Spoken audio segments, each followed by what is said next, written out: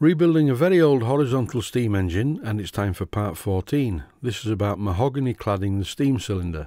The idea of cladding a steam cylinder is to keep the heat in. The more heat you can keep in the cylinder, the more efficient the engine is.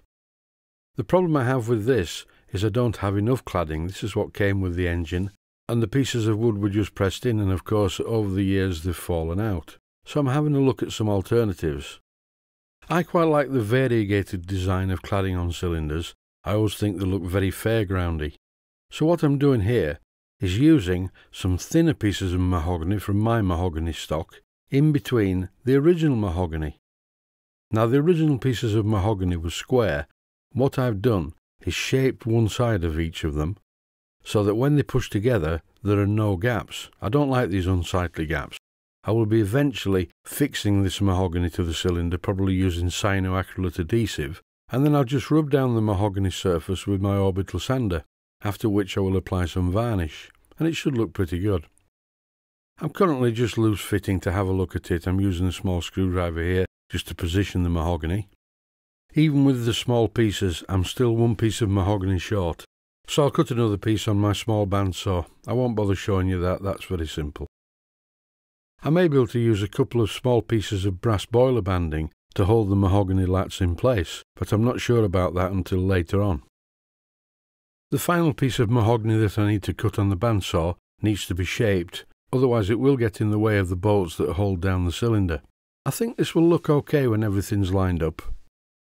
And as you can see by shaping the piece of mahogany, there's no fear of it fouling the bolts that hold the cylinder down to the bed plate.